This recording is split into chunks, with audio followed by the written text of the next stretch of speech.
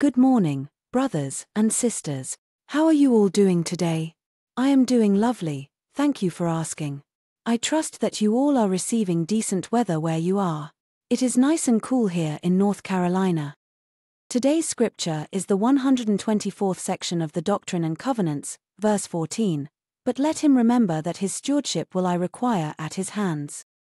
Today's quote is from Elder Stephen B. Oveson, taken from his sermon, Our Legacy, delivered at the October 1999 General Conference. Quote Whether we descend from generations in the Church or are the first link in the generational chain, we have a responsibility to convey to our posterity a heritage of faith, manifest through our daily actions. End quote.